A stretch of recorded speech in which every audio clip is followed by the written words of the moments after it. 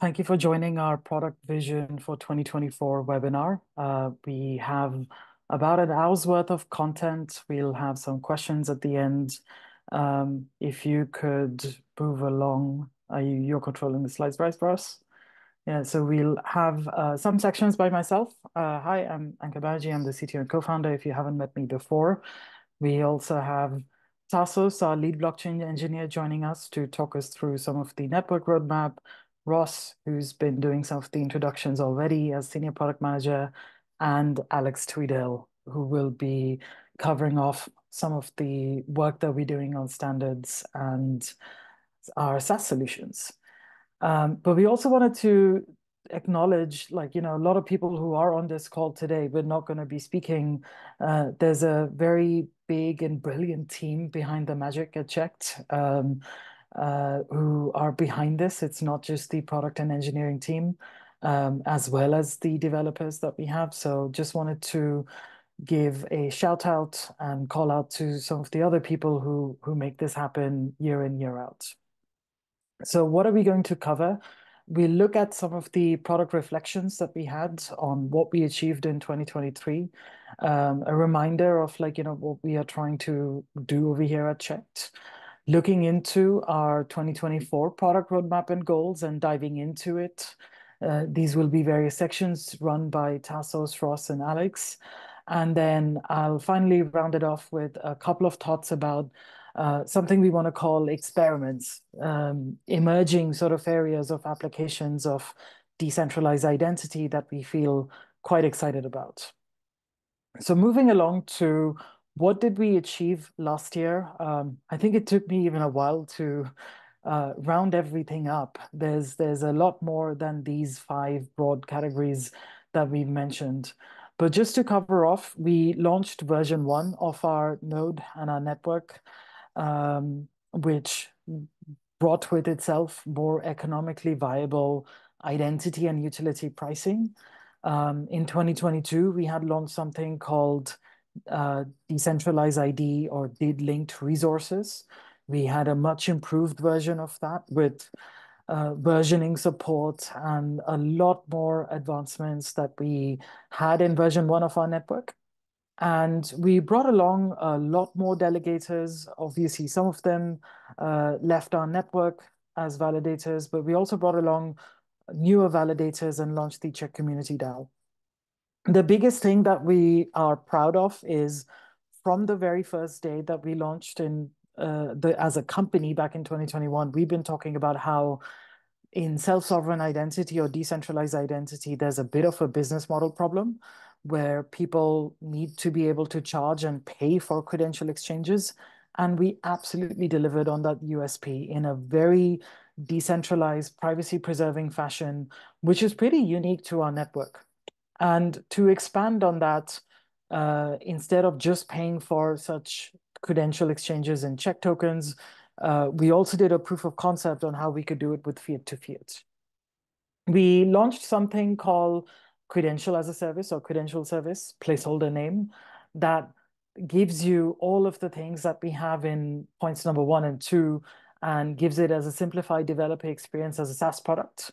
So you can get started with decentralized identity and payment rails. That's for all the app developers out there.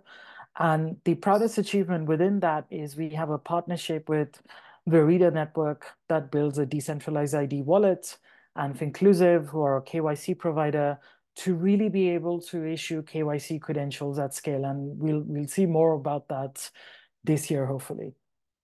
Um, and then the we also had a big sort of like, you know, leap that we took into consumer-facing products.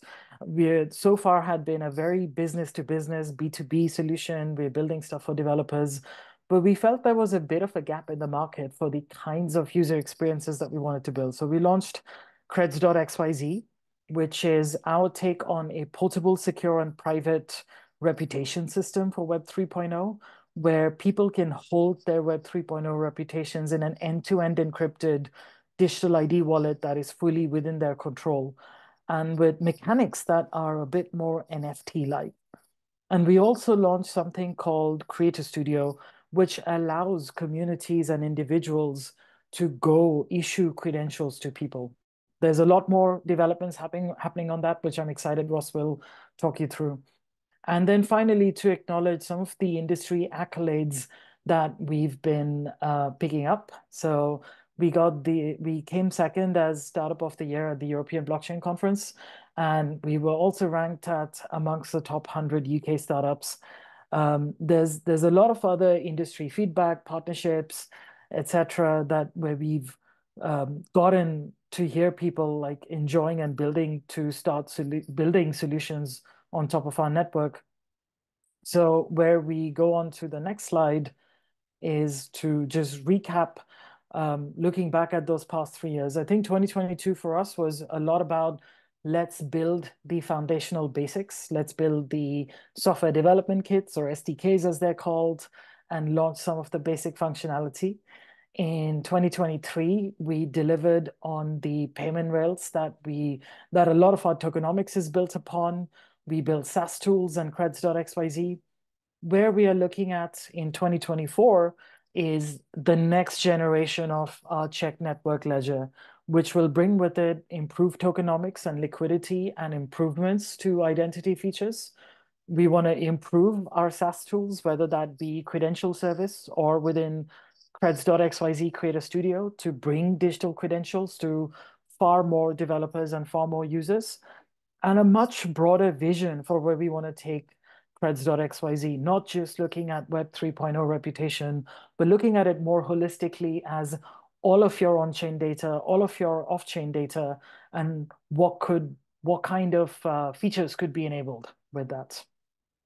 And on a personal note, I think it was uh, very exciting to get the entire team together, except for one person who couldn't make it, together at Cosmoverse. I think it was um, we we are a company that started in the COVID-19 pandemic, so we hadn't necessarily had the chance to all meet each other. And we went to a lot of conferences, we had a lot of fun, and a lot of this is not just about the products that we're building, but the friends that we made along the way. The picture in the center is the uh, entire cheqd team that you saw earlier on the slides. And on the bottom left is us having a spicy ramen noodle eating competition, which definitely made me cry. On that note, over to the next section where we'll talk through the various different work streams. So we'll talk about cheqd Network, we'll talk about our ecosystem and credentials as a service, we'll talk about creds and our experimentations that we're doing. So first up, over to uh, looking through what some of those goals are. So at a high level overview, if you move along, to the next slide, Ross, you can go and see some of the product roadmap for yourself. I am not sure if it's gone live on the website yet already or not. But yeah, it's live. Yeah. It's live. Okay, perfect. If you you can browse through this at your own leisure, or if you scan the QR code if you're on the Zoom webinar. What we'll talk you through is the six specific goals that we have in mind. So if you could move along. We want to talk about how we enhance cheqd Network through tokenomics improvements and identity functionality, um, keeping up to date with the standards and the industry best practices to maintain product differentiation. We are already one of the most compliant decentralizing ID networks with our protocol, and we support the largest number of credential formats. But we want to give an update on the further things that we want to go and expand there. Uh, moving on to credential as a service, we want to talk about how we want to simplify our SaaS product over there with a simplified dashboard for developers, as well as feature additions for regulated payment schemes. And then a deep dive into creds where we talk about how collectors can earn and collect more credentials by aggregating their data from various different sources, how creators can gain insights into their communities and build more personalized experiences, products, and services, and what else can collectors do besides displaying their credentials, which is what we do for now. And so on that note, I will hand over to Tasos, the real Tasos, not the fake Tasos, who clicked the wrong link to join the Zoom webinar, who will talk us through all of the cheqd Network developments. Tasos, over to you. Hello, everyone. I'm Tasos, lead engineer at cheqd, uh, and I'm going to walk you through the uh, uh, cheqd Networks uh, key goals for 2024. Essentially, we want to enhance Uh, tokenomics and the identity functionality, uh, mostly driving utility and uh, unlocking new foundations, benefiting adoption, greater adoption, and allowing more use cases to be developed on top of those foundations. So yeah, moving on, though, let's take a look at the current network capabilities. First of all, uh, implementers can issue credentials and uh, generate presentations uh, with a fully W3C data model conformant in three major credential formats: JSON, JSON-LD, and AnonCreds, otherwise known as ZK creds. The first of its kind, charging for credentials as well, Uh, being able to set up uh, status lists, publish them as DID-linked resources, and gating them uh, with certain payment conditions for now, and setting basically a price to verify the credential status. Um, then it's all about creating, updating, and deactivating decentralized identifiers, fully spec compliance to the W3C DID core, uh, utilizing cheqd's uh, unique DID method.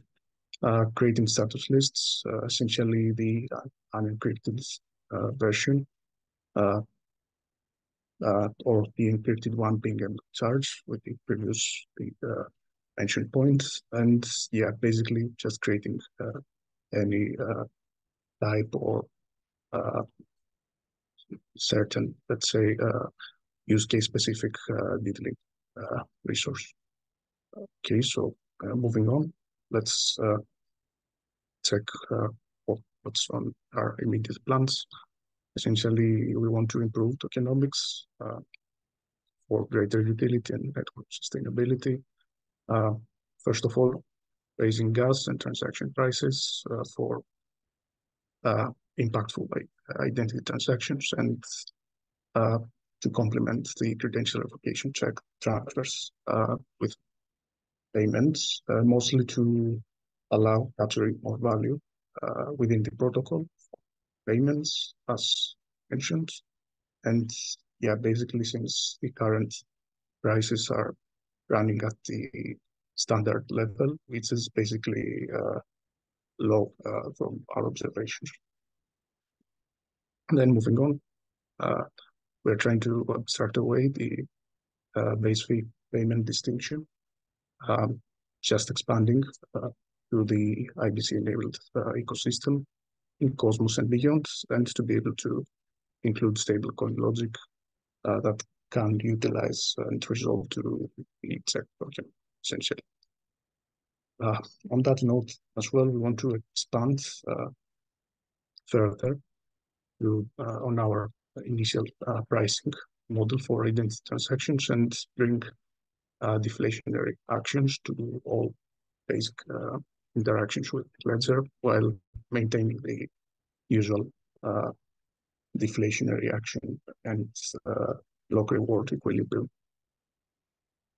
And then um, we're aiming to enable additional DeFi settlement layers and payment models that includes more advanced escrow Uh, logic and uh, embedding stablecoins uh, additionally. That's mostly to be able to bring on more consortia and allow for more advanced and and more in numbers business. Yeah, so moving on, we also want to be able to generate in-protocol revenues through MEV. Essentially, the classic MEV model is the one that's pictured here. Um, and based on that, there's not much control that the protocol uh, can have based on that, uh, and usually layer ones as blockchain networks. So we are aiming to uh, implement Skip protocols, block SDK to have greater control over uh, MEV, which is basically the maximal uh, value extraction that we can have within the protocol. And uh, we also have some kind of uh, priority to transactional uh, logic within the mempool, allowing for the aforementioned uh, revenue and giving more control to the protocol. Then moving on. Um, on the next generation, which is the first version two of uh, cheqd network, uh, we uh, are actually uh, getting there by uh, upgrading Cosmos SDK eventually to uh, 47, which is the next major line of versions, and finally to version 0.50, enabling those improvements and features out of the box, uh, and notably the ABCI++ uh, uh, toolset, which is basically uh, one of the major breakthroughs, uh, allowing allowing for allowing uh, programmable consensus, basically unlocking the use cases depicted here, which is on-chain governance with off-chain verifiable data, threshold encryption, and parallel execution, which are all concepts that uh, help uh, the greater utility captured through uh, payments on the network. And yeah, moving on. Um, we also have the ongoing work through proposal 31, which is community pool funded, where community pool spend as voted and inherited by the community, by uh, executed by Nymlab, essentially enabling uh, the linked resources uh, on Ledger over IBC to all IBC enabled chains, uh, uh, bringing uh, this cheqd specific functionality to Cosmos chains and beyond for greater adoption utility and bringing on um, more use cases, signaling a new era of decentralized apps and sustainable business models. This is the model uh, depicted here uh, with uh, the scheme of, of approver and verifier. basically, all of that being ZK creds, as mentioned, but well, bringing all of this logic on chain. Um, and yeah, the motto here is just empowering uh, decentralized networks through self-sovereign identity, which is the point here. And yeah, based on that, I'm passing the torch to Alex. Thanks. Thanks, Tasos. That was you know, a really good sort of rundown of some of the core network functionality and utility we're going to be building next year. Very excited to see that as it's sort of the core linchpin for everything that we're building on top of it. Um, but next, I'm going to run you through some of the core sort of ecosystem uh, work that we're going to be looking at in the next year, specifically around different standards and protocols. Um, Ross, if you move to the next slide quickly, uh, that we're going to be supporting on the network to maintain product differentiation. I think the really cool thing, Ross, if you move to the next slide, yeah, that we're going to be looking at is 2024 hopefully is going to be the year that EIDAS 2, which is a regulation that was passed in, uh, well, the, the, the final text was passed in the EU last year. Hopefully, this is going to start kickstarting verifiable credential adoption across the EU and then hopefully globally. This is pretty exciting for Cheqd specifically, as in the final text, uh, there was actually a section on electronic ledgers included, which means that these will be able to be, to be used as trust services within the context of EIDAS. So that gives not only us a lot more certainty around the sort of parameters we can operate in, but it gives certainty to our customers as well, saying, you know, we can actually use Cheqd with confidence in the confines of this new regulation. And on to the next slide, Ross. What we're going to be focusing on, particularly at Cheqd, is aligning ourselves with these standards and protocols that were specified within EIDAS and also the European architecture and reference framework. So we want to position ourselves to be a qualified electronic ledger under the new EIDAS framework. And jumping through the hoops to actually get that certification, working closely with the EU to make sure that we uh, fall into that category. We're also going to be working with friends in the industry. So we've got lots of partners here, such as Animo Solutions, ID, and Sphereon.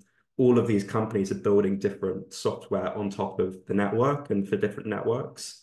And they're looking to support the EU sort of standards and protocols for credential exchange. So the one that you might come across more frequently is OpenID for verifiable credential issuance and, and presentation. So having those supported and having cheqd as the sort of base layer, and then those OpenID for verifiable credential support, a protocol supported on top is going to be a key priority for 2024. Uh, within Veramo, which is our primary SDK, and also uh, Aries Framework JavaScript, which is now renamed to Credo. Uh, yeah, and Ross, moving on to the next slide. I think strategically, somewhere that we really want to position cheqd this year is being sort of functionally aligned with the European blockchain services infrastructure, or otherwise known as EBSI. So where cheqd will be, uh, so where EBSI sort of will be issuing credentials for largely governments working with member states, we want to position cheqd as the sort of equivalent enterprise arm being able to facilitate payment use cases uh, for those companies that EBSI potentially is not able to, to cover. Um, and by ensuring interoperability with EBSI at the sort of protocol and credential type layer, we will be able to have sort of, sort of functional equivalents. And we look forward to potentially collaborating further with them for next year. Um, on to the next slide, please, Ross. Um, and on top of the sort of network and the standards that we're building comes our sort of first main product, I would like to say. And this year with credential service, I think one of the core things for me is really focusing around solving real user problems in the market um, to gain real life adoption in pro in production environments. Um, and to do this, it's going to be around simplifying the user experience for implementers um, and taking what we've built already with, uh, with credential payments and bringing it into regulated industries and also payment schemes, which I'll discuss a bit later. Um, on to the next slide, please, Ross. So I started off by thinking, what actual problems do we want to solve here with credential service? Um, so I, I went through a couple of user stories of where I think the value could really lie. So firstly, it's like as an enterprise company, I want to be able to monetize the data that I hold or data that I'm required to share within a, an existing federated data scheme or consortia so I can make sustainable revenue from this model. Currently, it's really difficult for companies to actually monetize data that they exchange. Either they're required to do it under some sort of regulation or they're already in a closed loop system. So actually adding a monetization model to these existing networks is going to be a huge sort of problem solver going into the next year. We'll talk about that a bit more later. Um, secondly, as a digital service provider, we want to reduce friction for onboarding and verifying new customers so we can save money, time, and provide customers with a better user experience. Currently, you know, I think people on this call understand the value of verifiable credentials, but actually demonstrating in that in real sort of production environments of how these can like reduce friction in the onboarding process and working with Finclusive and Verida, as I'll touch on later, is going to be crucial to achieving this goal. And finally, another sort of problem that I think we can solve is as an enterprise company, I am exploring issuing verifiable credentials to my customers, and I want to meet these new re upcoming regulations within the EU. But currently, it's too complicated to, to integrate these SSI credential things into my existing application. So hopefully credential service can act as that nice, easy medium for these companies to actually comply with the eIDAS2 um, and support credential payments on top of that. Um, on to the next slide, please, Ross. So going through a couple of user stories and sort of our hypothesis for how we solve these problems, I think I've come up with a couple of thoughts where I, I think say, you know, if we make data natively reusable, we can improve user experience and personalization. If we establish payment rails for credentials, we can create new revenue streams for data sharing. And if we integrate simply into your existing application, we can save development time, resources, effort. Um, and finally, if we meet existing upcoming regulatory hurdles, we can future-proof your application. So these are, you know, stories for issuers that will actually hugely benefit their existing applications and provide tangible value in the market. Similarly, for credential verifiers, if we do exactly the same things, you know, we can start to lower costs for people consuming credentials. We can undercut the current costs of identity verification providers, which is huge because a lot of companies can't enter the market of verifying their customers because it's prohibitively expensive. So if we, you know, bring in credential payments here into that market, we open up new verticals, we open up new markets. And for the user side as well, we create new personalized user journeys where via credentials, people can share extra preference data, go on new sort of user journey paths, which they weren't able to necessarily go on before, um, and position companies as leaders in the market in line with the new eIDAS regulations as well. Um, on to the next slide, please, Ross.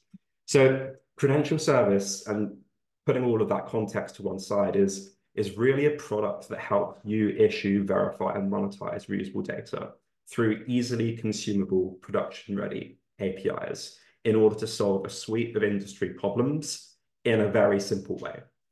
Um, and on to the next slide, please, Ross. Um, and I touched on earlier, something that we're really proud of is actually starting to get credentials into the wild. I think one of the biggest types of credentials that we've seen demand for uh, over the last year has been KYC credentials and actually proving that you are a real person reusing that trust within financial services or going from a Web 2 organization into a Web 3 organization. So with Finclusive, what we've built is they've integrated our APIs for issuance, also for supporting status lists. We can issue credentials to the Verida wallet and have people present those credentials to third parties. And we're working with a multitude of financial services to actually show um, a flow of, you know, basically KYC reliance with those third parties. And what's almost unique in the market to cheqd is because of how we have on-ledger status lists, those third parties can get real-time status information on the credentials, which is much more up to date than just relying on the static credential that they've been presented. And I think we have found that particularly compelling as we go to market with this product. Um, I think also moving into 2024, we're going to be focus, focusing more on payment rails, um, specifically within the Finclusive use case, but also more broadly. Um, and just to quickly touch on what we've built here with payment rails, it's actually a model where verifiers will be able to pay multiple issuers in one flat fee, and that fee can cascade back to multiple issuers. So it's incredibly flexible in how it can be used and plugging gaps in in in the industry because as I mentioned earlier in lots of you know federated sort of data schemes at the moment there's no payment payment or revenue model. And if you can start to layer in credential payments on top of things like that you can actually start to really kickstart um, data markets. And self-sovereign identity is really perfectly aligned to that because the data flows through the individual. So the issuer and verifier need to actually establish trust between each other. And having that credential payments model allows people to almost pay for trust. So I think that's going to be something that we see as really compelling.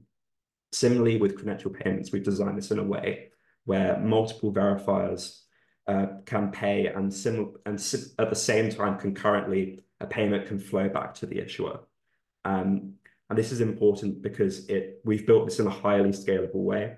So we should be able to support you know, tens of thousands of transactions per second on the network, which is you know, in line with your MasterCard and your Visas. And we really see this as the sort of payments layer that goes on top of data sharing and identity transactions to support sort of this next iteration of trusted data markets, as we like to call it. Um, and on that exact point, we've been exploring a lot in the last six months, and we will be going into 2024 the idea of bringing credential payments into what are, what are called payment schemes. So a payment scheme, uh, in a nutshell, is essentially just a payment system which has an organizational body which sets the, which basically says this is the technical infrastructure for the scheme, and these are the rules that the service providers within the scheme must follow. Um, they're generally run by organizations known as payment scheme operators. Um, and the important thing about schemes is they work in the real world. So if we want to bring credential payments to regulated industries, to financial services, working within existing payment schemes is going to be incredibly important. Um, next slide, please, Ross. So a model that we've been exploring is how an organization two can pay organization one, but actually they don't interface with the cheqd network. They don't touch blockchain. They don't touch necessarily our cheqd token directly. But by interfacing with the scheme, they're still able to use a, a currency that they're comfortable with to pay to verify a credential, and the organization one can actually be paid for issuing that credential. And just really simply how that would work is organization two would pay into the payment scheme operator. The payment scheme operator would actually trigger the on-chain sort of check payment to decrypt the uh, status list to return that to organization two. So organization two is now able to say, okay, I can verify that this credential is valid in real time. I've paid, you know, my $10 or my $1 or, or however much the scheme wants to charge for this to verify that. And then the payment scheme also pays themselves in check and then pays out to organization one in a stable coin or fiat currency. This could be either, you know, USD, it could be euros, or it could be um, a stable coin version of USD or euros. And I know that, you know, lots of markets in the EU are now looking at um, EURC, so uh, basically a, a stable coin version of the euro. Um, and I think we'd be interested in supporting markets where you could use check under the hood as an accounting mechanism, but you could settle um, with rules and you know particular particular scheme rules within a stable currency. Uh, on to the next slide, please, Ross. So wrapping this all together and sort of like finishing off on the credential service side, um, to make this really usable and easy for our customers in the next year, we want to be bundling all of our APIs, all of this functionality into easy to use dashboards. Um, this is a mock-up that I put together of what it could start to look like. So as a developer, you can manage access to the platform, you can manage your API keys, um, and hopefully on here we can start to show you know balances that you accrue from uh, you know making money from credentials and also balances that you need to pay for verifying credentials as well. And the final thing that I would love everyone's help on this call is we would love to give credential service a bit of a new, a new name and new look. And we're going to be opening this up to the community and the partners and everyone listening. We want to give it a flashy name uh, that people really resonate with. I particularly like Casio. I think that sounds quite fun. It's like credential as a service.io. But I think after this call, we'll, re we'll really open to suggestions around uh, you know, people saying, oh, I think you should run with this name for this reason. So supercharging credential service with new additions and a new name is going to be one of the core sort of uh, concepts for this coming year. And that probably wraps up my section, and I will pass neatly on to Ross to chat through everything on creds. Brilliant. Thanks, Alex. Yeah, segue into Creds, which stole the stole the name Creds from what could have been credential service. So um, so yeah, I'll take everyone through three different goals that are all focused on Creds. As a reminder, Creds is our consumer application. It all started out as a bit of a demo um, at the start of last year, literally January 2023, where we wanted to find a way to, as the slide earlier said, show, not tell. So show people how self-sovereign identity and DID works rather than trying to explain it. Because I think one of the things that anyone in this call from the industry will know is trying to explain self-sovereign identity, even the word itself does often get met with difficulty and some sort of mystified looks. And so Cred started out as that, but it's obviously evolved somewhat more into a consumer application for building a reputation and, and we'll take you through that. So the first goal of what we want to kind of focus on with Creds is enabling the aggregation of more data, of more credentials. And so we want collectors, which are basically our users, the people that are using the app itself, to be able to collect and earn more credentials and be able to build their reputation from more places. So kind of to take through a bit of like the, the philosophy of where this comes from is currently our reputation is everywhere on the internet. We have a reputation in the different social media sites we use. We also have a reputation in the ways we engage in um, sports, in travel, in um, all different kind of ways in which we kind of have a, a, a our own sort of uh, score. in the Web3 world, we also have different reputation. We have our reputation in the wallets that we use in the NFT marketplaces that some people use, not so many now. And so there's this reputation which is kind of scattered and all over the place. And additionally, as your reputation becomes more scattered, as your reputation and your data becomes harder to manage, there's increasing risks of it being misused because it's obviously not under your control. And this really does go to the heart of what self-sovereign identity is all about and, and the kind of the founding ideas that Fraser and Ankur started everything off with, which is people should know what their data is, and but most importantly, being able to control what data is seen. Um, and you may have seen this brilliant ad that came out um, kind of talking about the risks around data and the amount of data that exists and how that can be used against people is when the emergence of of AI and people being able to kind of have models and things being able to mislead their families and so forth. Um, so yeah, I'd really recommend checking out this, this if you haven't seen it. So where does that lead us in terms of creds? So the way of thinking about it is this exact question. What if it was possible to see more of your reputation, but all in one place and all under your control? So all of us, we are one person. We really have one reputation and it should all be in one place. And that's exactly what the Creds wallet kind of intends to be. So a way with this goal is all about finding new ways of exposing the APIs that enable you to issue into creds and make it possible for people to bring their reputation into one place. And how this looks in terms of kind of increasing trust is as an individual, you can have different levels, different credentials which attest to your trustworthiness. And if we think about kind of the trust and the trust equation, you know, one thing that's been talked about before is, is trust is very much about your credibility, your reliability, and so forth. And so being able to have higher credit, higher sort of assurance credentials, things like biometric identifiers and birth certificates, and being able to build up a wallet that contains those. But also lower things, things that kind of more just um, your reputation data, which is maybe not as high trust, but having it all in one place gives you the opportunity to, to build a reputation and, and build it over time. And so how are we doing this? Um, there's a number of organizations which we're kind of exploring. These are not cemented partnerships, so there's no no kind of like clear partnerships on this, but these are kind of the kind of organizations that we're um, in conversations with and, and trying to see where this could go. So on the Web2 side, there's data providers which basically enable um, individuals to choose what data they want to come out of the platforms they're using, be it Uber, be it something on Google, be it whatever you know, for me, I've always been interested in just boring the team to death around Strava and Whoop and different types of sports data. But being able to bring that all into one place, and so I have one unified reputation. And so using providers um, like Reclaim Protocol, for example, can help do that. And then additionally, being able to blend that reputation with um, Web3 data providers, so organizations that index on-chain uh, data, which basically means they just get events, things that people do using uh, their wallets on-chain and bring those activities into one place. And so that kind of blended reputation, and we'll come on to how that can, can improve the user experience for, for users over time as well. So that first goal, aggregation, enabling people to build their reputation as a user, as a collector side of it, Goal five then kind of looks more at the creators. And the creators for us is essentially issuers of credentials. Um, and so like we, we kind of use the term creator for creds rather than issuers felt it was more in line with the narrative within Web3 and, um, and the space already.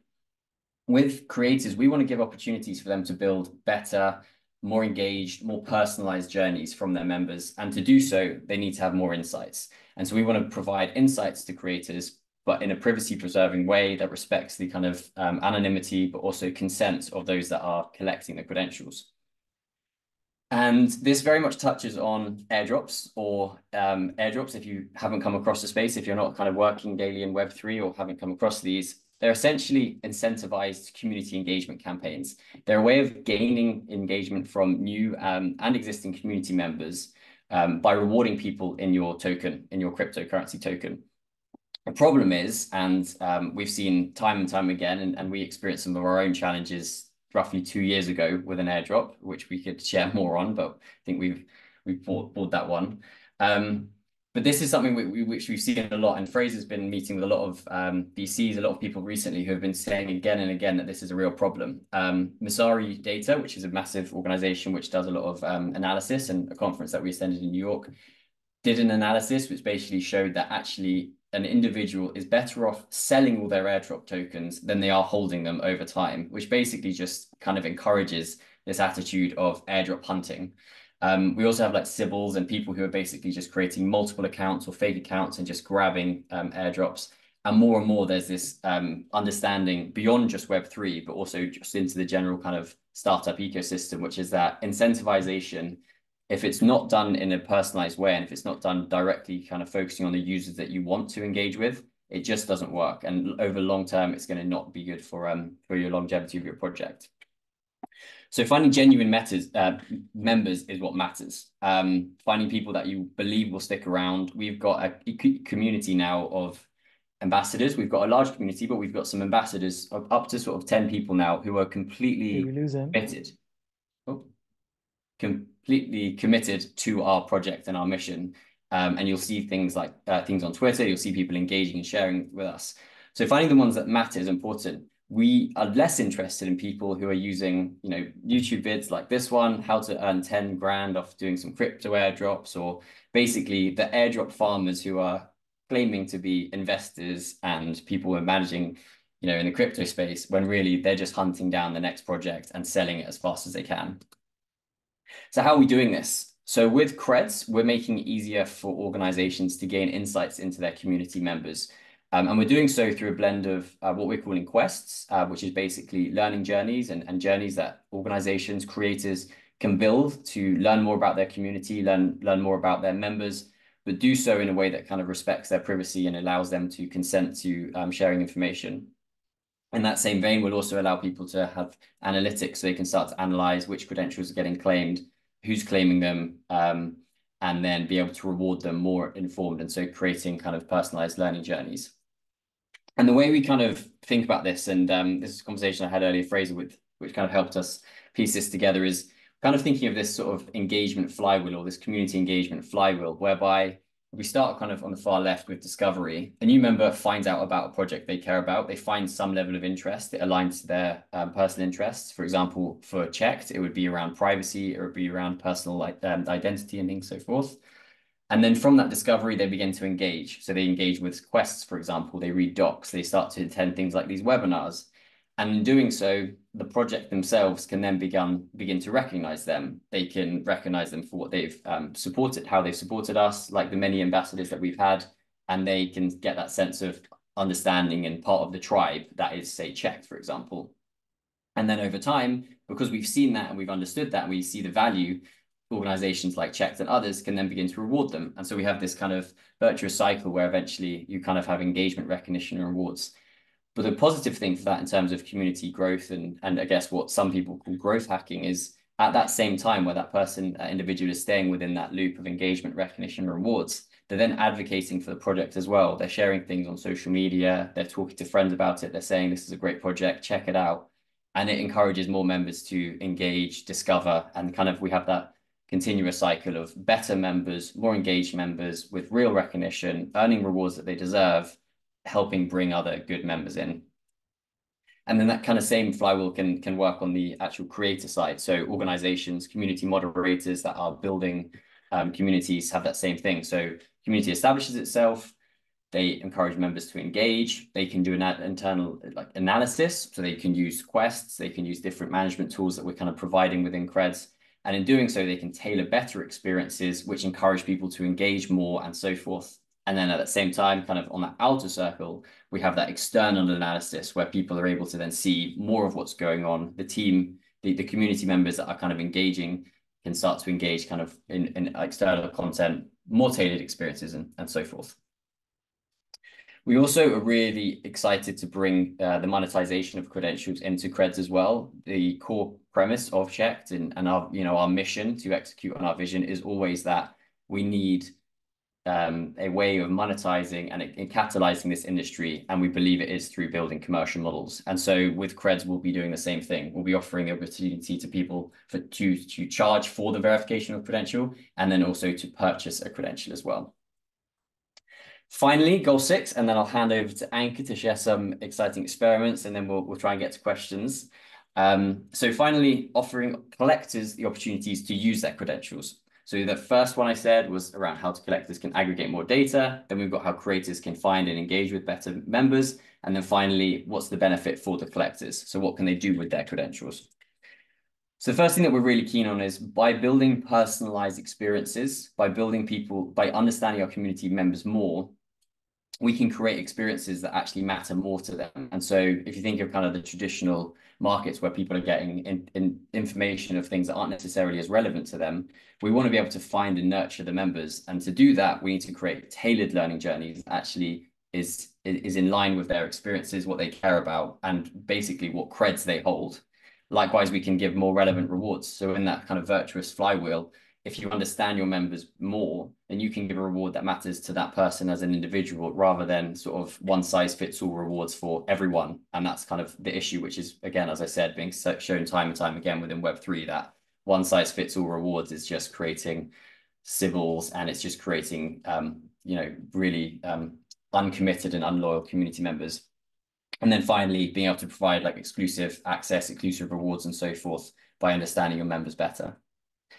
We also see creds as a possible and a really good route to build a personal brand and a reputation. Currently, the opportunities out there, whether it's X, um, LinkedIn, all these different options um, allow you to kind of build your reputation and, and obviously share your jobs and share updates. But generally, most of that data is not verifiable. You cannot actually check whether that organization is, is the real organization. And although that's emerging in organizations like LinkedIn, we believe it's a real possibility here for particularly it's starting with Web3 communities and if Web3 individuals to be able to build their reputation. One thing that we've had a lot at conferences that we've been to is people that have been working in Web3 for the last couple of years have struggled to, to verify and, and demonstrate their brand because it's quite an intangible space. But if you, as a community member like our ones, have shown that you've been committed to joining webinars, you've been engaging in learning docs, or you're a developer and you've been finding bugs and so forth, you can build a reputation around that. And we also want to make it possible for people to build different reputations based on who they want to show. So on the left-hand side there, you can see my more personal reputation, which is just trying to show off that I love surfing, although haven't managed to do that for quite a while recently. And then on the right hand side, you can see more of my work profile and being able to show those different profiles for different use cases just gives you more um, control over your data and over your reputation, which, which goes back to the heart of what we're doing here. We also see a possibility of being able to use the way we're aggregating all that data. So we're aggregating that Web2 data and that Web3 data, being able to build a blended credit score. So being able to say, okay, this is what I've done in the Web2 space. This is kind of uh, my credit score um, which is obviously known and people are generally very accustomed to Web2 credit scores. But what about a Web3 credit score? And this opens up some exciting opportunities within like emerging markets and a broad number of spaces for people who are very much daily um, involved in um, in using crypto to be able to build a credit score, gain access to loans and so forth. And so this is the space that we're we're curious to kind of dig in deeper. And finally, one thing to, to bear in mind as well is how can you use um, creds for governance? One of the problems, again, a number of problems within kind of scamming within the Web3 space is that you tend to have the emergence of more and more sort of scam proposals and also proposals which are very much kind of just people clicking vote without really getting um, fully engaged in it. And scam proposals have proliferated. Again, this one's all about airdrop scams, which kind of goes back to the earlier point. So we're interested in showing how you can actually use creds as a way of managing and gating governance. And so with the creds-based governance, and we've, we've had some cool conversations with a number of governance organizations on this, communities would be able to choose how they just how they customize the governance. And so it's not just stake-based and, and anyone with tokens can vote, but you can decide whether on a vote, maybe it's 60% go to the community, 30% to the advisors, 20% to the ambassadors and so forth. So you can have more programmatic choice of how you actually go about and, and choose governance. So that wraps up creds. I'm going to hand over to Ankur to run through our new category of experimental, which you'll find all of this in our roadmap as well, which we'll share the link for at the end. Um, so yeah, over to Ankur. Thanks, Ross, and thanks for that overview of all of the exciting stuff that we're doing across uh, Creds, cheqd Network, and our SaaS tools. Uh, so this section called experimentation, we put it in here because we feel like we've got a lot of maturity on the identity standards. I answered some questions around how having the having a big tent approach where we support various different credential formats and use cases is been one of the earliest uh, principles within the company. Uh, but we are at the stage where we want to start looking at where could our technology be applied and, and almost leading the way uh, within that, as well as working with partners in going and achieving those. So first off, um, I think what we want to show is uh, how generative AI makes authenticity more desirable. I think there's a couple of pictures missing here.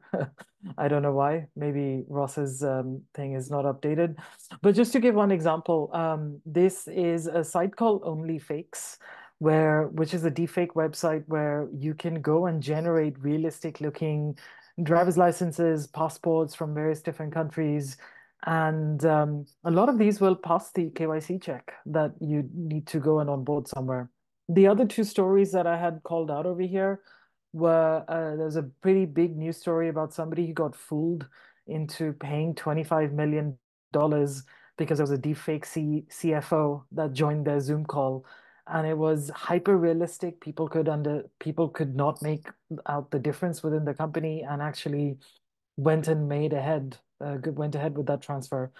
And the last bit that I'd called out was uh, Taylor Swift, which uh, deepfakes of Taylor Swift have been a big problem on on X slash Twitter to the extent that like you know X slash Twitter is probably getting sued at this point. And Thank so you. I think yes. I just um closing and I'll just stop sharing and reshare so you get all the, yeah. All the information. I'm sure it's there. Let's just do it quickly. Um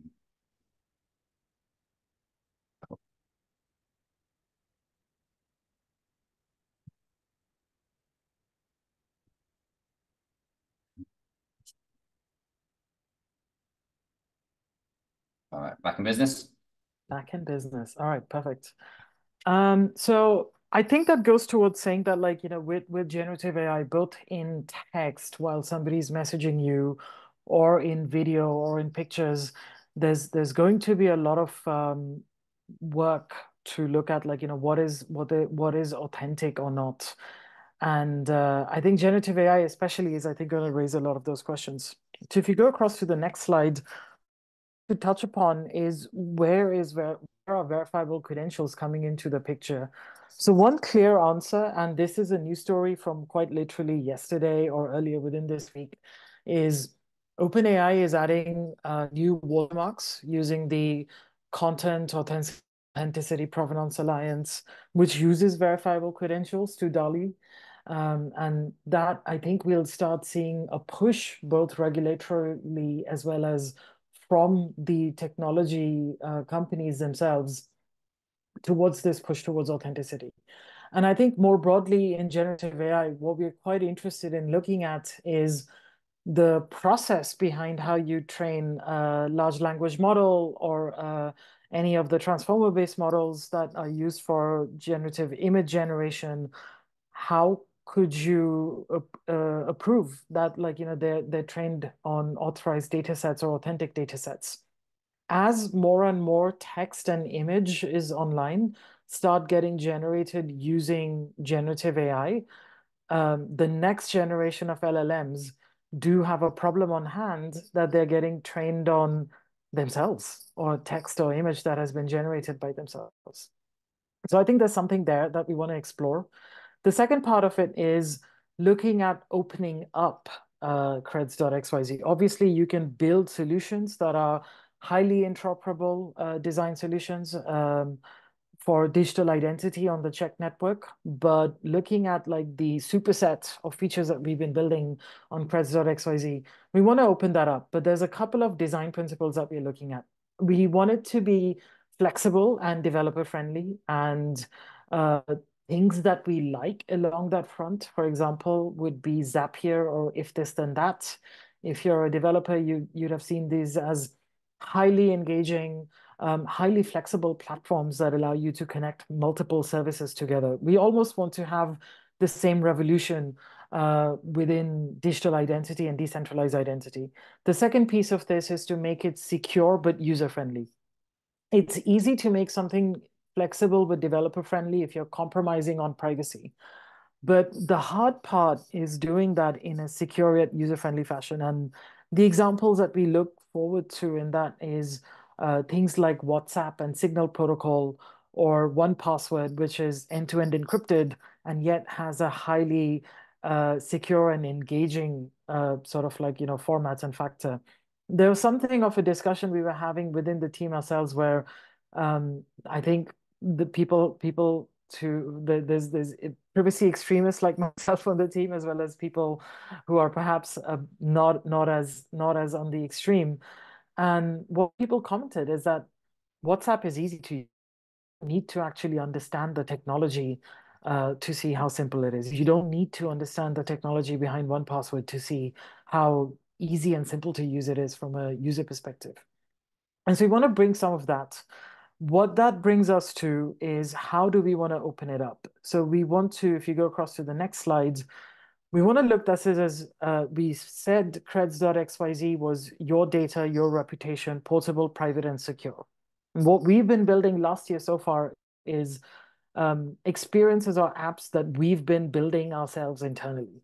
Um, so first off, as we said in goal one, we want to expand that to data aggregation. We want you to be able to have not just the community reputation that's been awarded by a community admin or somebody and a trustworthy individual within that community, but you want you to be able to uh, collate and aggregate all of your on-chain activity, whether that be on Cosmos or other chains, as well as from traditional Web 2.0 sources in a wallet that is portable, private, and secure that you control. And where does the portable part of this comes in? We will be building solutions ourselves, but we also want to open this up so that as a user, um, other developers are able to go and build solutions on top. Um, perhaps there will be examples of this where they get used in DeFi or centralized exchange applications like the Web3 credit score example that Ross was talking about, or reputation use cases like in generative AI more most importantly, we want to make this a flexible and secure API platform, a bit like Hero, if this and that, to go and handle all of those use cases that we can't even imagine or build ourselves, and to open it up to interested parties. So this brings me um, to a bit of a personalization paradox to end off our our journey um, of what we want to explore this year. I think people um, use a lot of online services, they they are constantly creeped out. Uh, they often ask questions like, "Are our phones listening?" Um, we and and the and and the sad thing is, Facebook doesn't even need to listen to us to get to the level of creepy personalization that it like you know gets to uh, gets to put out there. Um, and to the next part of the paradox is people are creeped out by that, but yet they say they want more personalized experience. They say we want better ads. They say they tend to skip online ads when given the option. And yet, when they uh, are also asked about, would you like a personalized experience? Would you like targeted ads? They all go and say yes. And a lot of them still believe that they're getting that personalization right. So there's a bit of a paradox in there. Where we think verifiable credentials can come in, if you go on to the next slide, is that so far within the evolution of Web 2.0, we've been talking a lot about the experience economy. And I think we need to pivot that to the personal economy. What people feel is that they don't have enough control on their data. They like the personalization, but they don't have enough control on their data. And if we can achieve all of those using the same kind of end-to-end encrypted private and secure technology that we've all learned to love and adopt in the way uh, of services like WhatsApp and Signal and so on. There is, I think, a lot of um, value that we as cheqd and the products that we're building in creds.xyz can add to this. That was a long deep dive. We've covered a lot of ground. Um, we have a fair amount of time for questions. Uh, we've been answering some of them as we go along on the Zoom Q&A chat feature. So uh, yeah, over to anybody on the call to talk us through. One thing to mention about this, we are recording the call. You might have seen the recording symbol come up. Um, we will be publishing a recording of this, so anybody who hasn't been able to watch can can play it back. And uh, if you don't feel like coming on video, I don't think you can come on video. Um, those parts of the conversation would be not recorded anyway. It's just on the presenter side. And so, yeah, floors, floors over to the audience.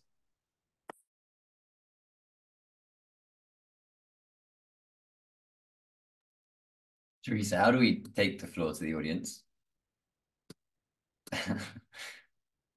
Hey, yeah. So yeah, I'm Teresa here. Yeah. So uh, you guys, uh, if you can ask in the Q and A uh, chat box, and then we can uh, upgrade you to become a panelist and speak. Yeah. Brilliant. Okay. Oh, we've got we've got we've got a question here. So, um, one question. Um, let's go to Alex or Ankur. I'll I'll read this out, and then one of you go for it.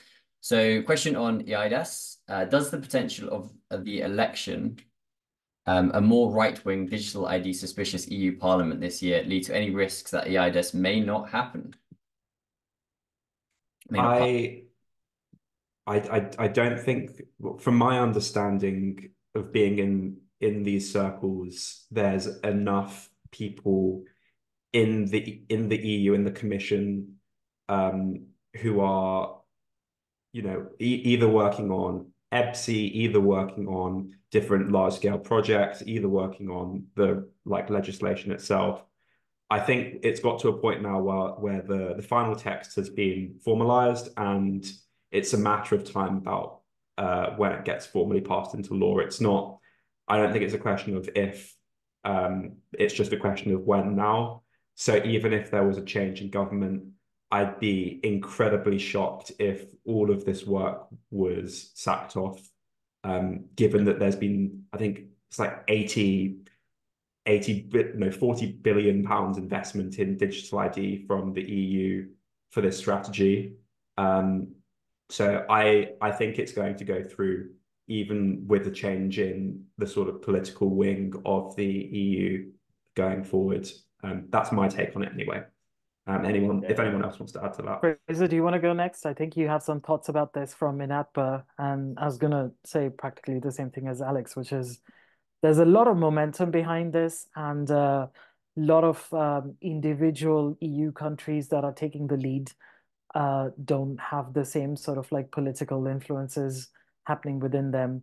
Um, so yeah, Fraser would be keen to hear your thoughts. Yeah, um, I think we've used. We we say this about quite a few things, but I think it's true here, which is like digital ID and ID cards in they already exist in Europe and quite a lot of the countries. Like obviously the UK is very very different, and there was just a completely allergic reaction every time ID cards have been brought up. But a lot of a, a lot, if not all of them, I wouldn't be able to speak authoritatively. Like already already have um, ID cards, they're just physical. So moving them online, I don't think is that much of a stretch. And then to second Alex and Ankur's point, I was uh, in INATBA last week, um, and that was with, um, yeah, that was with the, um, I was in DG Grow, which I can't remember what that stands for, and DG FISMA, which is more to do with like financial infrastructure. And there was just an open, like it's not even spoken about that there is any risk to eIDAS. It is just it's going to happen. Um, timelines may be flexible, like all government projects, but there's pretty much like a, a consensus that it is it's just happening, and things are being put like being built out. There's pilots going on. Everyone's figuring out what adoption looks like. There's no like worrying about the political climate over the next couple of years maybe um because there's not any questions maybe let's just um just like touch back on some of those questions that I got asked um during because I think there could be an interesting discussion for other, others that haven't seen it. So um just just briefly let's look at this. So one from Nikki was how does standards support uh, promote differentiation? Surely it is the opposite of differentiation or do you mean enabling secret source while still being compliant? I know Ankur, you've kind of covered that but maybe just to share that with the the group the group yeah, sure. Um, I think it's a very good question. How does standard support give differentiation? I think our differentiator is that we go and support more of the standards. Um, and that has been one of the core principles right from the beginning um, to look at other digital ID solutions. And I think the industry has moved a lot. They're trying to recognize that interoperability. And there's far more work being done right now on supporting multiple standards within the same products. Um, but what we want to commit to is by going and uh, looking at some of the emerging things like selective disclosure JWTs, what this allows you to do, for example, is if you had a digital credential with 10 fields and you only wanted to go show two or three of them, you can do that with selective disclosure JWTs. So we we feel quite excited about that within um, Creds. Uh, there's a way of like having done this in the past using AnonCreds, but going and supporting the other major format that's been emerging, I think will help. The other part is um, I always think a bit of the SSI industry has been based around the conception that everybody will adopt SSI and then the world will change. But in practical terms, that might take many, many years to do. And there will always be early adopters and there will be companies or organizations or industries that come on board to this whole new paradigm at, at a slower pace. Um, you only have to look at a government website to see how old technology gets used sometimes. Um, so for example, on that front, OpenID Connect for verifiable credentials, it layers verifiable credentials with OpenID Connect, which is the login with Google, login with Facebook type technology that everybody already knows and is familiar with, and going and supporting that. So I think that's our differentiation. We want to go and support as many of the standards, whether that be exchange, whether that be for credential formats, and uh, that would be a differentiator. The other question was, I think, will Thanks. a presentation be shared? Yes, we will be publishing the recording, but I think we've had a few more yeah, questions coming in. So cool. Let's start with um. Yeah, thanks, Ankur. So um, yeah, so Chappie, thanks for joining. One of our very committed and loyal community members for right from the start, I think, or very close to. Um, so Alex, this is one I know from your own quotes, close to your heart. What about trust registries? Is that something cheqd feels um, it has to work on, um, at least on its ecosystem? Yeah, so th this is actually a really, really good question. Trust registries is something in the space that everyone agrees is a big item uh, to figure out, but nobody's come up with the perfect solution for it. And um, with an eye on eIDAS as well, what I think we're going to see is over the coming years an interplay between uh, trust registries using traditional PKI and like X509 certificates as like a root of trust um, in combination with something like what we've built on cheqd with DID linked resources for um, where basically DID linked resources can can be used for trust registries and then the root of and then it can point to maybe an X509 certificate as the root of trust. I can't say what exactly I'm working on, but I am looking to uh, push this as an idea with relevant stakeholders from uh, different industry consortia.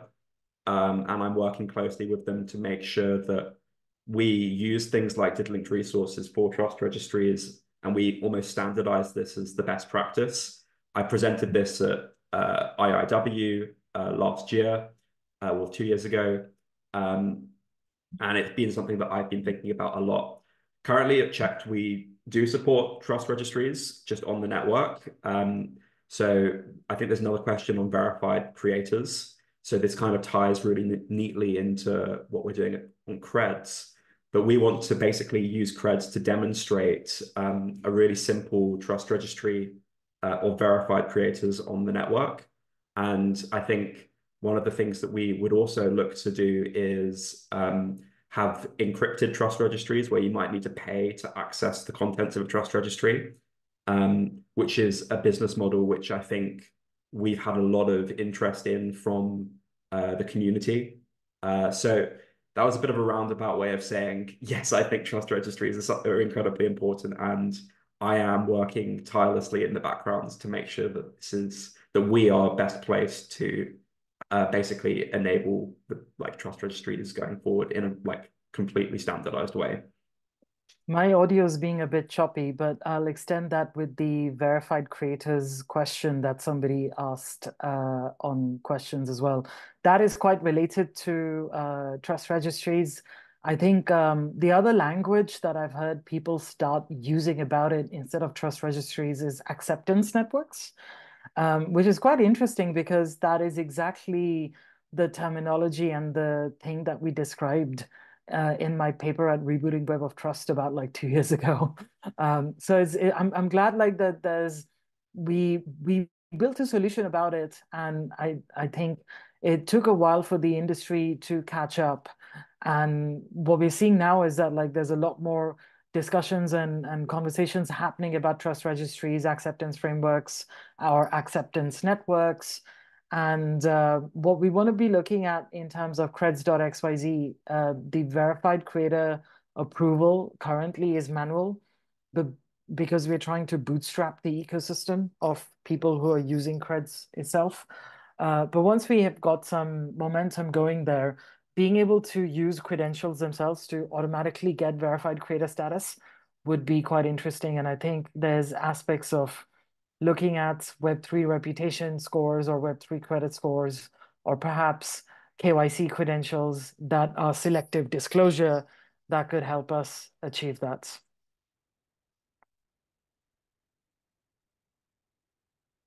Ross, am I audible?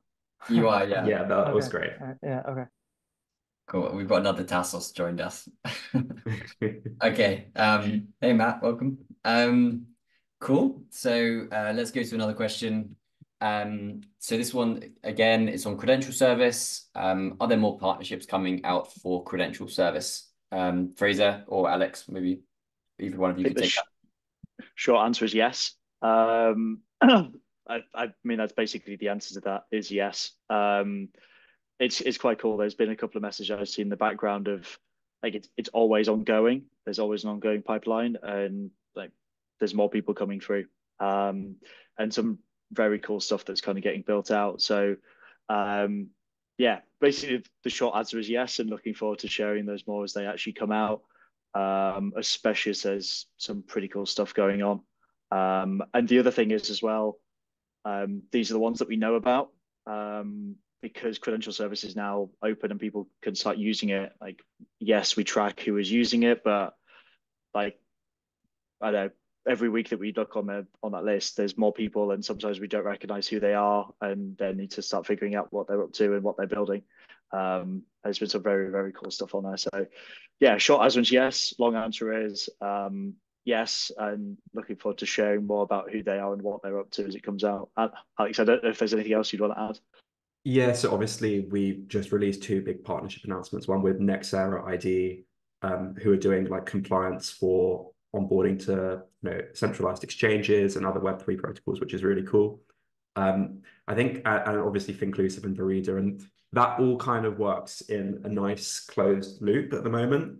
But one of the things that I really see us doing in the next year is opening up credential service to all of the EU digital entity wallets. So we're already in conversations with multiple of them, uh, if that makes sense. Um, and basically, that's going to open our market up to just a lot. Basically, our serviceable, a serviceable, obtainable market will increase significantly with that um, integration into those wallets, because then people who are in the EU ecosystem can start using our APIs to issue to EU wallets and also start monetizing the credentials. The other angle I think that we're going to start seeing partnerships on is the the, the payment scheme stuff, which I discussed earlier. Um, so I'm personally in conversations with multiple different existing payment schemes that are looking at we want to take our business, well, we want to take our existing payment scheme a, add a commercial model to it because a lot of payment schemes don't have a commercial model, and B, transition it into the world of verifiable credentials in line with the upcoming eIDAS regs. Um, so basically working with those schemes, holding like basically uh, learning with them and building with them um, and making sure that we take all the boxes there. Um, I'm sure we'll have some cool stuff coming out in terms of partnership announcements, but can't say any specifics on that. Brilliant. Thanks, Alex. Uh, I'm just going to interject before we come to the next question. Um, so with creds in mind, I'm just going to drop in um, a couple of links. So one is the product roadmap link that should have just arrived into the um, into the messages from for all the attendees here. So you can check that link out because there's a question that will come to from Nikki shortly. And then additionally, while we're here, you can also claim your uh, your credential um, which basically says that you were here. And in the future, maybe that will be our way of rewarding you as well. So you can claim that credential at the link I just shared there. Cool. All right. So we've got 10 more minutes left. Um, hopefully we can get through these last questions. Um, so before we come to Nikki's one, I think Ankur Alex Fraser, check Tasos, check out that question and have a think of it while we do the next question as well. Um, so WRT, a focus on enterprise and identity, what support, if at all, for the VLEI um, will be available within Cheqd, Credential Service, or CREDS? And how do you see the end game of organizational identities realizing new revenue flows for this ecosystem? I know this has been um, a few conversations that we've had internally with, with GLEIF and so forth. So um, who wants to take that question first? Yeah, I can take it. I had a yeah. chat with one of our advisors very recently about it. Um, I, I think the with the VLEI ecosystem, one of the core things that is necessary as an industry that over there is their uh, credentials are typically in a very specific format. It's a very rock and roll term, but it's mostly in ACDC, as they're called. Um, and uh, being able to convert that into something like OpenID for verifiable credentials would perhaps be what's required to uh, make them available to the wider ecosystem. So one of the issues is uh, it's not a proprietary standard. It is an open standard, but it's an idiosyncratic standard. Um, that would be, in fact, a fantastic solution for onboarding uh, organizations into creds.xyz as verified creators and trying to start creating some of those acceptance networks. Um, so what I'm hoping for is more collaboration with the KERI and the ACDC credential ecosystem to start bringing those into uh, other places.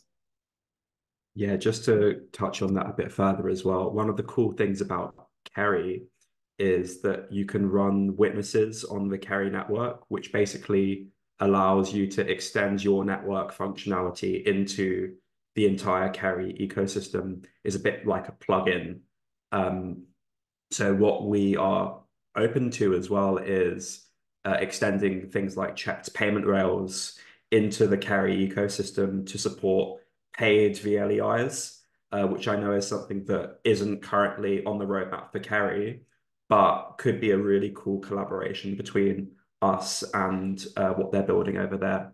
And that would also bring some more harmonization between the approach to VLEIs on KERI and also, uh, you know, other trust registry approaches that are going on, for example, in the EU with things like EBSI Vector, which you can Google. Um, and yeah, hopefully, if we become that bridge between the two, that would be a pretty strong play. Awesome. Um, thank you guys. I think, yep, good answer. Cool. Okay, we're going to do some improvisation now. I'm going to um, pull up our new roadmap actually, um, because we're going to have a chat about it. I think this is a great question from Nikki. So um, let me make sure I'm putting up the right link. Um, Cool. Let's take a look at this together because um, is that showing the showing the roadmap? Excellent. Cool. So this question has come from Nikki. Um, it's a very full and exciting roadmap. Thank you. Um, but it has it has good rationale and clear market need, but there is a lot there. Um, definitely. If you could only pick one item from each of network, creds, and credential service, what would it be and why? And how are you prioritizing resources against roadmap item? Yeah, it's a brilliant question, Nikki, and one to definitely hold me to account as product manager. Um, whilst others think about it, I'm happy to to kind of jump in first with with my view on this, and then um, let's go to Tasos and Ankur next, and Fraser on the on the the network side of things, and then Alex come to you on kind of standards ecosystem. So for me, I think looking at the roadmap, I think the priority, one of the highest kind of priorities is a blend of, of the two that we have here. I think exposing APIs to integrate creds into other applications is what has the most upside for um, the network effects, for being able to bring in more, more organizations into creds and more issuers into creds. Um, what we mean by this and, and what this item really is all about is basically saying within the studio right now, which anyone of you can go and try, just studio.creds.xyz, anyone can get started, they can log in, they can build credentials in a really kind of no codey, easy to use way where you never really know you're doing anything DID wise. Um, and you can issue credentials using CSV uploads, using the claim codes that we just dropped into the chat here. Well, the kind of the limitation with what that has is is scale, really. You have to have a community manager, which is always there. It's always kind of um, you know, go through the process, creating new credentials and and issuing them with CSVs and stuff. What we imagine with this doing and, and how we want to approach this is basically having these APIs accessible within the studio. So somewhat of like a developer tab, uh, which you would have seen in other applications before, and making it easy for organizations and for developers basically to start building with creds. Um, and the, what we see that doing is it means that more applications can start um, integrating. There can be more creds issued, and we can kind of see that kind of expanding emergence of different um, credentials. Um, so that's this one. In terms of kind of this, the second part of that question, and how are you prioritizing resources resources to do so? Um, we already have actually begun conversations. I actually spoke to um, our front end engineer Gunjan about this yesterday, and, and we've kind of had an initial conversation about basically how do we just bring in what we already have within our Swagger page, which is basically just a, a page with a list of APIs in it, bring that in and be able to bring that into the studio in quite a seamless way, in more of a proof of concept MVP type way. So it kind of, you know, developers as a persona, they can understand, they can engage with something which isn't really high fidelity and and um, of that kind of type. So so that's kind of the first step with this. I think I just will say second most important for creds, I think as well, is the pay to verify and bringing in the, the payments into that. Um, anyone want to add anything to creds or has disagreements on, on the creds, creds one, or we'll, we'll jump across to network next? Ooh, I'd have gone for payments, but I also agree with you. I'd like as soon as you started speaking and you mentioned that one, I actually came around to that. Um, so I'm split between those two, like really split. I think it's for me those are the two most exciting ones because, and I and I mean by just paying for either verification or buying the cred because um, to your point, like APIs enable everything at scale. There's a load of use cases we've spoken to people about whether like the studio is cool, but I would love an API to start issuing stuff. Um, the bit that I'm really excited about is the ability for people to charge for credentials or charge for creds when they're verified without having without needing to know anything about the code, which I think will be super super cool because um, I think ultimately that's partly where NFTs are now, and they've got their own flaws. But I think it'd be really cool to see something similar um, that people can just get started with without needing to know anything about the tech. And plus, yeah, show people, don't tell. Brilliant. Also, uh, you know, I mean, we we've had a pretty consistent track record of shipping almost everything that we have pitched in our product roadmap. so uh, we feel confident of what the team can go and achieve, and we balanced it within those parameters. Um, what you'll find is that a lot of the items that we called out very specifically are within sort of Q1, Q2 of this year, uh, with a lot more time for experimentation in the later quarters. So there's already some uh, sort of uh, contingency or room for flexibility built in over there where we will go and test for product market fit for these solutions. I think on the network side, um, delivering the network upgrade itself, which will enable us to go cross-chain and enable new kinds of tokenomics is probably the one that I would pick.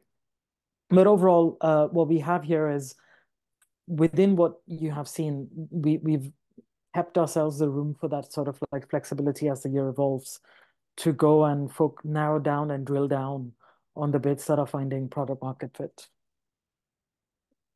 Brilliant. I know we've only got three minutes left, and I don't know whether the webinar just automatically ends. Tasos, anything from your side that you'd like to add additionally um, from the network side?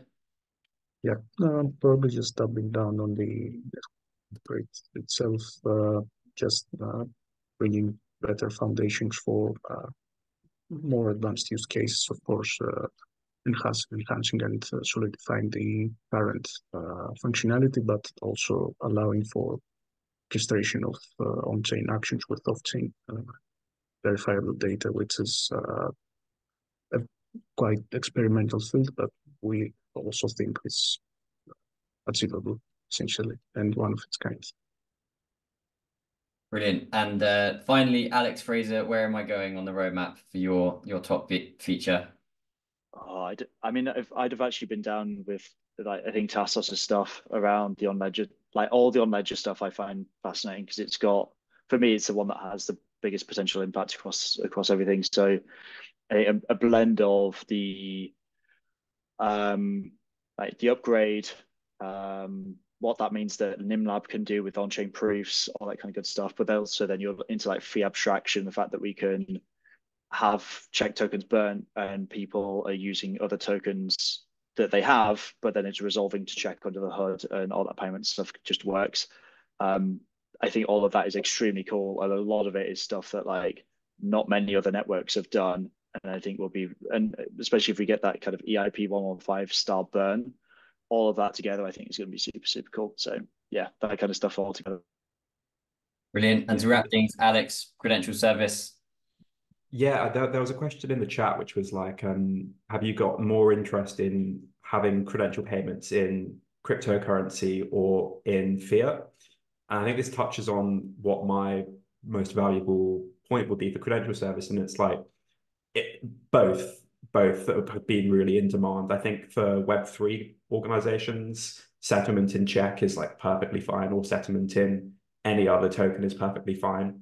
Whereas for more uh, like traditional industries, they want settlement in either a stable coin or fiat.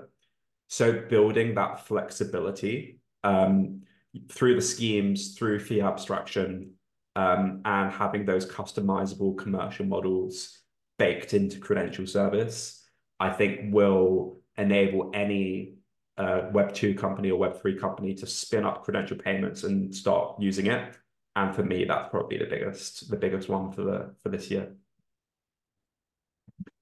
Brilliant. And there was one final question I'll quickly take, which I think came off the back of um, one of the one of the items that Fraser and I just talked through um, around like expanding for paying for a cred. So specifically within creds, we are really like keen to see where people take this. Examples include you could pay for a cred to be um, to become a member. Some some memberships, like um, memberships of DAOs and things, require a payment to be actually become a member. So I would pay for that credential, and then in return I would get that credential, which then gives me access.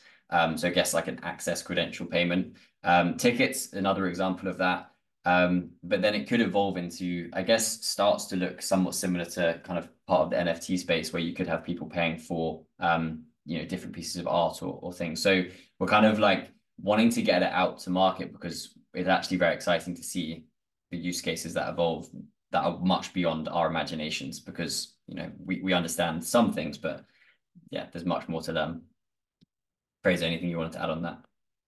No, I totally agree. I think that's going to be the fun part is um, just the unknown unknowns. It's just getting it out there. And we've, like you were saying, we've got a bunch of use cases. Some of that is similar stuff to like um, what Finclusive are doing around KYC. There's other use cases looking at payments like ESG credentials, all that kind of stuff. But there's probably a load of use cases that we just don't know about because we just aren't in those industries. Um, yeah, so I think just looking forward to seeing how that shows out.